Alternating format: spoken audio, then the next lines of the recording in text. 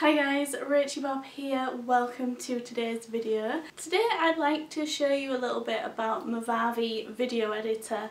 A lot of people ask me what I use to edit my videos and because I use Premiere which is quite expensive for those of you who just want to edit videos for YouTube or for personal projects, Movavi might be a better option for you. So I got the opportunity to try it out and I have to say I was very impressed. I used it to do this week's Sims Saturday. I'll put a link to that video in the description so you can see it in its entirety if you haven't already. But here's a little video of the process. It took me 39 minutes to edit the video in full. It was very easy and I was able to add in some extra flourishes which made a nice difference. So this is the full version of the software. I've got it slightly minimised with a folder behind it just so I can drag in the footage that I want to bring in really easily. You can either use file import or you can just drag it in straight to the timeline which makes it really easy to use.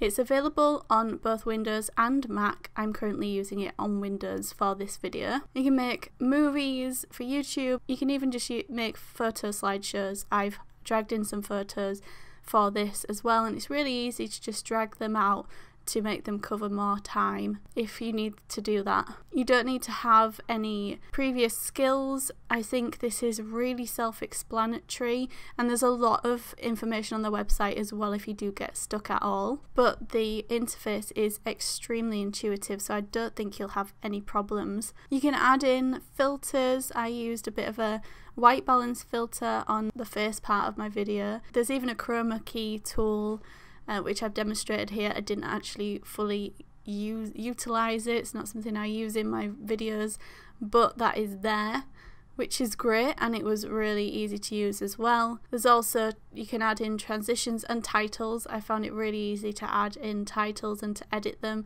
and I really liked the zoom feature as well. I thought that was super cool and just so easy. It does exactly what you want. Pretty much everything that I've wanted to do in Premiere, this just does.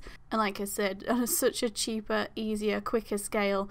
Obviously, you can go more in depth and everything's a little more manual in high end editors, but this is everything you need for YouTube for sure, and especially if you just want to make a slideshow for someone's birthday or for some schoolwork or you want to do a vlog of your trip to show your family or to pop on YouTube, this is absolutely perfect. And also, you can export to heaps of different file types. You can even upload it straight to YouTube from the export, which is incredible.